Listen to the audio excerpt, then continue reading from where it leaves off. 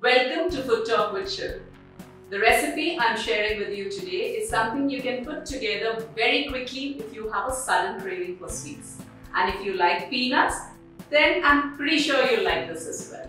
It is really easy to make, so simple that there's nothing really that can go wrong with this. This is another recipe that I found in my mom's cookbook.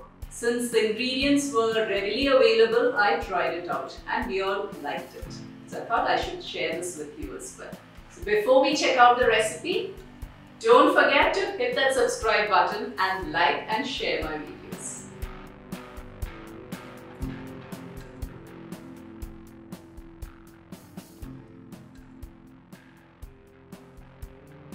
For making these peanut butter balls, the first ingredient that we're using is arrowroot biscuit powder. This is a regular Marie biscuit.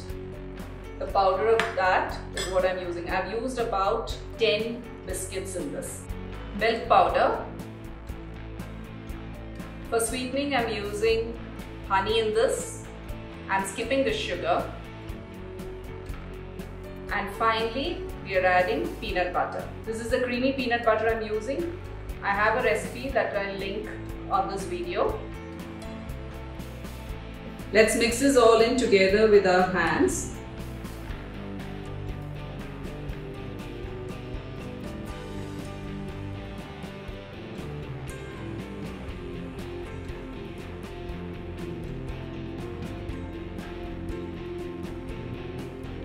You can add in milk a little by little.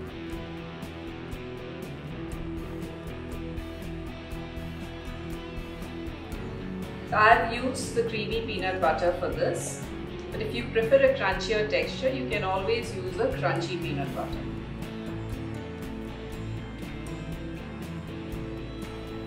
So you can see if you are able to make small balls out of this. If you're able to do that, then you can stop adding the milk. So this still not come together properly. It needs a little bit more of milk.